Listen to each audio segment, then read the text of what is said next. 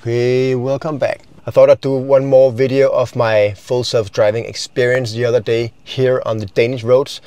And just a few notes here to leave you with before you watch the video, because I really have to explain this once and for all for people. There's many skeptics and you know people who doesn't really believe in this technology, doesn't understand how it how it works because the idea, the concept is that Tesla has a gigantic fleet by now from over 10 years of producing and selling cars with around 8 to 9 million cars on the roads right now, Tesla cars. All of these cars have cameras attached around the cars, around 8 or 9 cameras. And all of these cameras are then collecting data whenever the car is driving and also being parked around the world. This data is fed back into the AI supercomputer at Tesla this AI supercomputer then crunches all this data, makes it makes it make sense, feeds it back into the car. So that means that every car is driving with what's equivalent of thousands of lifetimes of a human driving because a human drives around 10 to 15,000 miles per year and over 50 years of driving I don't know what that is 15,000 miles times let's say 50 years of driving that's 750 thousand miles. That's more or less a ballpark of how much a, a normal human being is driving in a year, uh, in a lifetime. And these cars are being taught from billions of miles collectively. So it's many, it's many thousands of lifetimes of driven experience that the car is driving with. So that's why this is such a critical and uh, breakthrough technology because it scales across the whole fleet every car is learning from all other cars in the fleet, which is growing exponentially as well. Oh yeah, and then the AI supercomputer at Tesla pushes out this software every week, every second week to improve the driving capabilities of all the cars. And the result is that all these cars get smarter every day because they share the experience of all other all other Teslas. Okay, I hope that wraps it up and that uh, clears things up on how this technology basically works. Let's check out the ride. Okay. Så er vi live. Så er vi live. Okay, Jørgen, så det er den blå knap der. It's uh, the blue button is the FSD supervised. Okay. I what is he? Oh my god. Oh my god. So we can say. Are we doing English? Or yeah, yeah, we do it in English. So we can say that the car is driving itself but there is a Tesla employee in the driver's seat uh, because it is FSD supervised. So he is responsible for the car and has to take over if like anything happens during this ride. But right now it is just the car riding itself, which is pretty crazy to think about. What's your first impression, Joachim? How does it feel? it feels safe actually. I feel at ease. I still had the the pleasure of trying the FSD in, in Austin as well. I went up there and rented a Cybertruck. I drove it for three days throughout uh, Austin and Texas. So I know a little bit about the feeling, but it, it, it's it's profound how quickly you kind of develop a sense of ease and peace when you're, yeah. when you're driving. But I also feel now when there's a person sitting in the driver's seat, it feels a lot like just being driven. But the crazy thing is in America, where there's actually like robo taxis going around with nobody in the driver's seat. That is that is like next that's next level. That feels like even more futuristic in a way. So obviously this is kind of a push to raise public awareness around Denmark as well about the significance of this technology and us being a little bit into the, uh, the field and the technology knows how this is more like a, like a formality that you have to sit there, of course, for legal reasons still. Of course, there's still some fine tuning of the, the software taking place, but it's just. But I would say I would say that you're right that you get it feels very natural. It, it feels like a person is riding the car. It doesn't feel like it's a robot riding itself. You know what I mean? No, no, it, it doesn't make like weird. Uh, No, and the acceleration is smooth, and the braking is smooth, and like If you if you didn't know better, you would have thought that the person. Was yeah, yeah, it feels like the Tesla employee is driving the car. The only thing that would have been giving it away is that it, it's actually maybe a little bit too smooth because it, Yeah. it knows exactly how it has to decelerate and accelerate to hit the stop signs and stuff. Yeah, and it's also interesting that we get it like in. It, my camera actually looks quite bright, but it is pretty dark out, and I think in the next half, half hour it will get completely dark. So that is also interesting. That I think a lot of people who are skeptic about the technology will say that oh, it will not work in the snow, or oh, it will not work in the dark, or when it's raining, or stuff like that. But our, I think, the way we see it is that if a human being can drive in those conditions, hmm. eight cameras and a supercomputer can also do the same. Yeah, exactly. Yeah, when you see the, the videos from the states where they're driving through snow blizzards and stuff, you look, really did you see that? Yeah. There was a big, and very big, very steep speed bump, and the car slowed down very naturally. Like this is exactly how I would have done it. Like no difference. Sorry, you were saying? I was just saying those videos you see uh, from from the states where they drive through blizzards and snowstorms Yeah, and stuff. It's just like super smooth and But I think I saw another Danish YouTuber. Uh, he posted a video earlier today. I think he was invited by the press. Um, and and the funny thing is, I feel like the, the same is happening now. That it's quite uh, uninteresting to film and watch because it's so just. that it's boring. But that is quite because do you remember when they started the beta testing in America?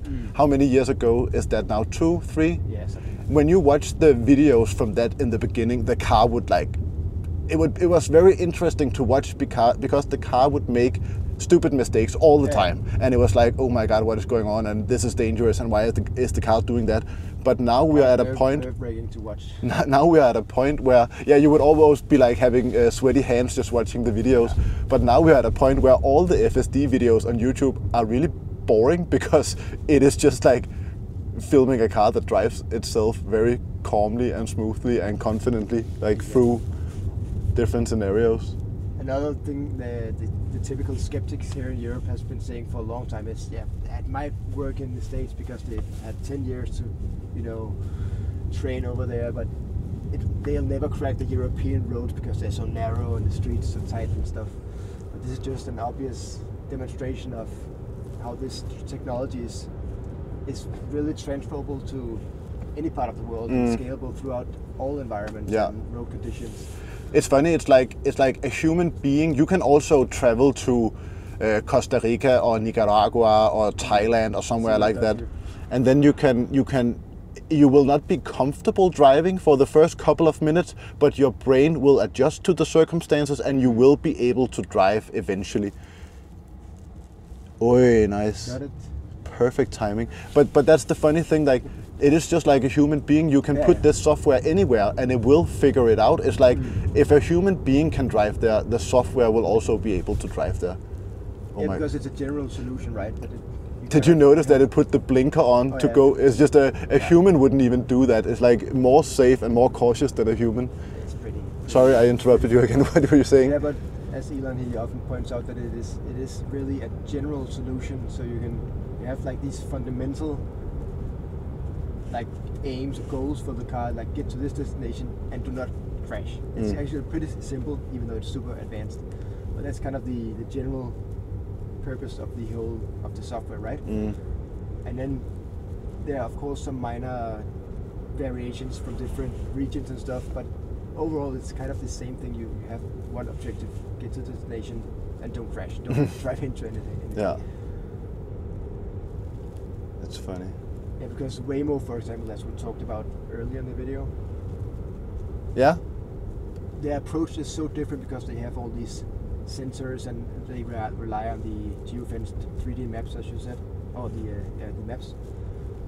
So they can't just they can't do like Tesla is doing right here and like spontaneously do a, a live demonstration where for, for the public without having all the you you know the necessary pre-defined maps and stuff as they have in the states. So that's that's also what's so profound because this is this just scales across all regions. True. But think if if this was your own car, if this was your privately owned car, and you were, were at work and now you wanted to drive home, you could mm-hmm. just get in the car and press FSD supervised, and then you could basically just. I mean, now you have to supervise the car, but in a few, I don't know, month or maybe a year, you can just the car will just drive you home, so you can take a nap on your way home. You can, uh, you know, do a little bit email. You can uh, watch uh, TikTok, sit on X. You can do whatever you want. You can just use your car as like a comfortable lounge to relax, rather than like you know riding a car. You have to do all these micro adjustments. Like, are you in the right lane? What are the other people doing? Uh, how how fast are you going? What's the speed limit here? But with Takes up a FSD, lot of your brain cycles when you drive. yeah, so you can just relax. You can meditate. You can I don't know. You can do whatever you want. it's for sure, there's gonna be like a transition where you're gonna Mm. like get used, have to get used to how it feels. But as with all technology, as we've been talking a lot about that, all of a sudden it feels like it's so like how, how the hell did we Yeah, yeah. live without it? Yeah. Just a few months. Prior. We, we talked about it in the car going here. Like, if you were to explain to someone living in the 1980s how much screen time we would have now and how attached we would be to our phones and just being reliable on the internet, they would not, in their wildest imagination, be able to like fantasize the reality that we are living in now. So it's just if you think five or 10 or 20 years out in the future, I mean, it's just going to look so much more different than, uh, than what, it's look, what is it doing. So slow it down. It's red. Can you can you explain something about the interface? It's different. Uh, look at how much information it has. Like, Oh yeah, the in general, I think the whole 3D visualizations is Yeah, yeah. also a lot higher detail than we're used to. but it's also imagine how much more detail it has than your eyes. Yeah. Like it, it sees everything. It's like uh, in a in a 3D definition, so it's much more aware and has much more angles than we do as human beings. I don't know if we can touch the screen. But it is it is a bit different than when we use our own car. It looks a bit different with Yeah. this one on. But for sure, you can see uh, there are so many cars here you wouldn't be able to, to spot right away I know, if you were. but it, it's got like a hold of all of them. yeah. It's pretty interesting. It looks really nice, and then we have our red car in the middle. And for for us enthusiasts, of course, I, I oftentimes forget because we follow the technology so closely. I often forget how how few people they realize that this is Yeah. this is gonna impact all of society, like in, in a very short amount of time. How how do you think it will impact society? I think it's gonna impact society in. Okay, this is interesting, Yeah, this is. I wouldn't even know what to do here. and we have some beautiful Christmas lights here in Køge. Oh, we are quite close to the edge here. It's interesting. I hope it sees the poles. Oh, Uh, it's tight. it's tight, yeah, but it, This it is actually a, quite a, a good example of a European Yeah, small, road narrow road. Yeah, Without know, the lane markings, and there's Yeah. like a, one of these uh, yeah the low tight buildings and but it feels very confident. I would probably be a bit more to the center line than those signs in, in the out by the right, but it's doing well. I think as long as it's not hitting anything right. Køge is a nice city. Good Christmas atmosphere here. I to And just look at all the people on the screen. Like it notices all the people. And if someone on the sidewalk were about to go out into the street, hmm. the car would notice much quicker than you would notice. in a split second. well. Yeah. Which is and there's a pedestrian on the on the And all these people should, should Yeah, they have no clue. they have no clue that this car's driving. This is also it stopped very no, no there's no sudden braking. It just No. it just it's very softly, very gently just touch the brake pedal to make room for that car That's and just navigates these tight corners very human like. It drives so much better than I do. I have to say. It does. I just drove with you. but that's because... I'm too excited. you're too excited, yeah. No, But, that's um, fine. I also think you are a terrific driver. Usually I'm okay, but. It's okay. What are we doing here? Is it, is it, maybe this is the end destination?